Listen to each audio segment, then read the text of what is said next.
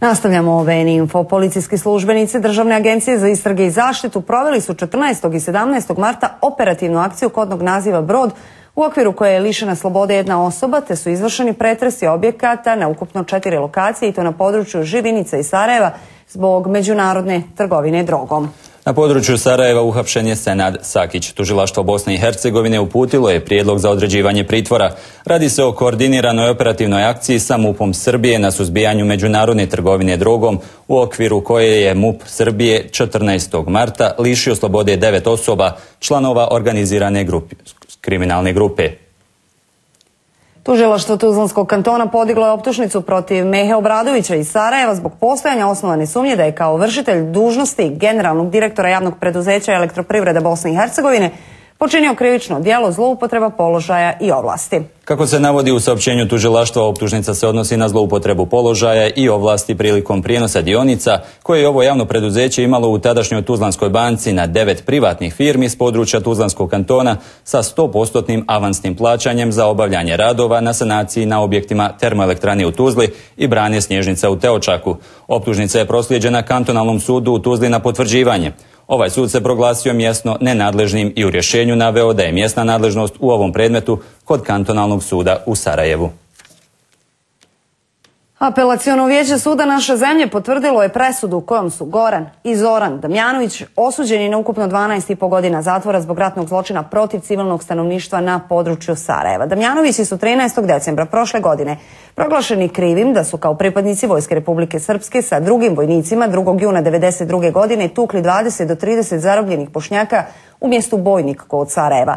Oni su već bili osuđeni pred sudom Bosne i Hercegovine za ovo djelo na 11, odnosno 10,5 godina zatvora. Nakon što je Europski sud u Strasburu zaključio da je u njihovom slučaju trebalo da bude primijenjen krivični zakon bivše Jugoslavije, a ne krivični zakon Bosne i Hercegovine, obnovljeno im je suđenje. Iznošenje završnih riječi tužilaštva pred sudom Bosne i Hercegovine na suđenju bivšem pripadniku takozvane armije Bosne i Hercegovine Edinu Džeki za zločine počinjene u Konjicu i Jablanici 1993. godine zakazano je za 8. april. Ova odluka je donesena nakon što je sudsko vijeće prihvatilo izmijenjenu optužnicu tužilaštva Bosne i Hercegovine protiv Džeke koja danas nije čitana u sudnici.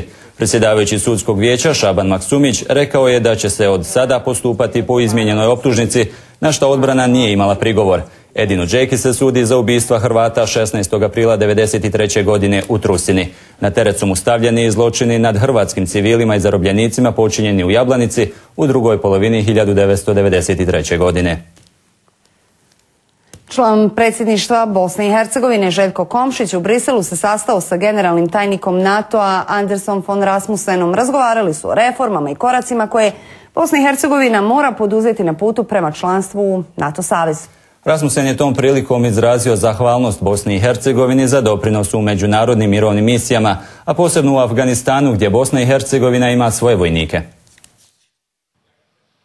Na sastanku se razgovaralo o reformama i koracima koje Bosna i Hercegovina mora napraviti na putu prema članstvu u NATO savez. Generalni sekretar NATO Anders Fogh Rasmussen izrazio je zahvalnost na podršci Bosne i Hercegovine i učešću u mirovnim misijama NATO-a. Zahvalni smo na slanju novih 26 vojnika u Kandahar, gdje su se pridružili Američkoj nacionalnoj gardi.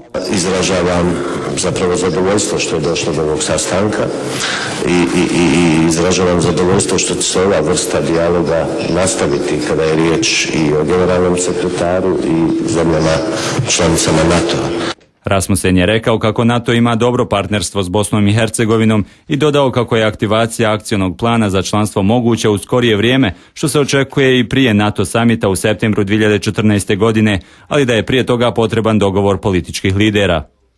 Mora se implementirati dogovor o nepokretnoj perspektivnoj vojnoj imovini. Mi smo spremni, ali vaše liderstvo mora da se dogovori kako bi se aktivirao MAP. Naglasio je da su posljednja dešavanja u Bosni i Hercegovini i protesti građana poziv da političari naprave potrebne promjene, upozorivši da političari u Bosni i Hercegovini trebaju slušati poziv naroda.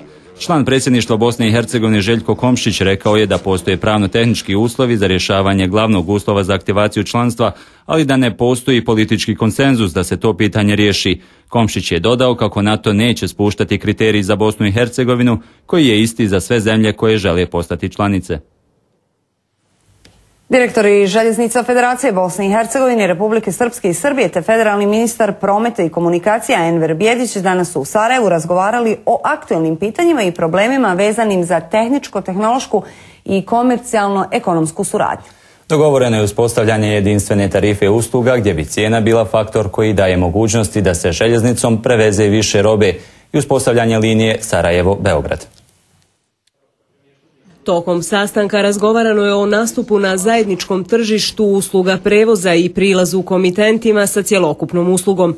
Najavljeno je potpisivanje sporazuma između željeznica Federacije RS i Srbije, koji bi regulisao prevoz robe i putnika na ovim terenima. S tim da to dođe do nekog izjednačavanja cijena da se riješe neki problemi koji su do sada bili, a problemi su bili u smislu da smo imali različite cijene od različitih operatera. Na taj način e, dovući više roba na željeznice, odnosno da ćemo više zarađivati, a samim tim biti u mogućnosti da više ulažemo u zastarjelu opremu kad je u pitanju i vučna sredstva i odnosno ukupno vozna sredstva, a i sama pruga.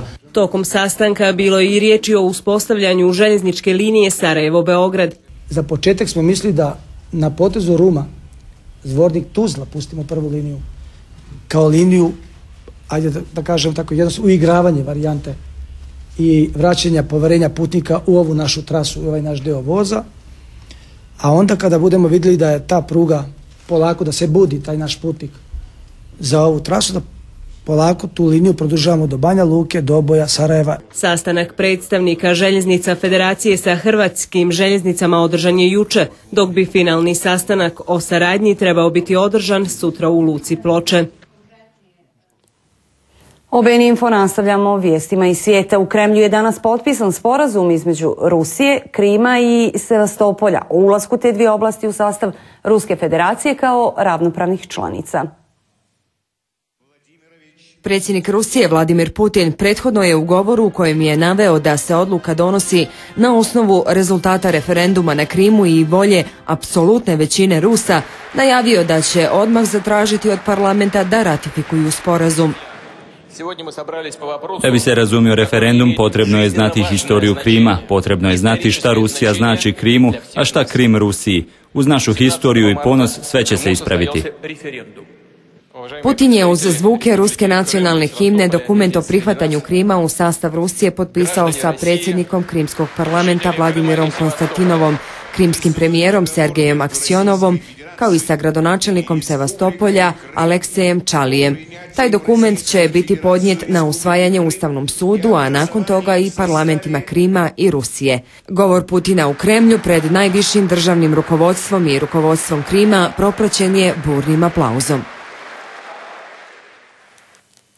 Turski premijer Recep Tayyip Erdogan upozorio je Moskvu da će Ankara zatvoriti Bosforski moreu za ruske brodove ako dođe do nasilja nad Tatarima na Krimu. On je između ostalog istakao da će Turska uvijek biti uz svoje sunarodnjake na Krimu i da će se razgovori sa Rusijom biti nastavljeni na svim poljima radi zaštite prava krimskih Tatara. Erdogan je dodao i da će osim razgovora sa ruskim vlastima biti održani i razgovori sa njemačkim, azerbejdžanskim i kazahstanskim vlastima. Turska je jučer saopćila da ne priznaje rezultate referenduma na Krimu održanog u nedjelju na kome je izglasano pripajanje tog ukrajinskog poluostrva Rusiji. Malo pomalo došli smo do kraja, na kraju još informacija o vremenu, a sutra u Bosni i Hercegovini prije podne pretežno sunčano vrijeme, u drugoj polovini dana se očekuje prolazano oblačenje sa sjevera koje će uvjetovati kišu. Najniža jutarnja temperatura zraka između 2 i 8. Najviša dnevna temperatura zraka uglavnom između 15 i 20 stepeni. U Sarajevu prije podne sunčano, poslije podne se očekuje na oblačenje i moguća je kiša. Jutarnja temperatura zraka oko 6 stepeni, a najviša dnevna oko 17 stepeni. Gledali ste OBN Info u nastavku slijedi sportski pregled vijesti. Doviđenja. Doviđenja.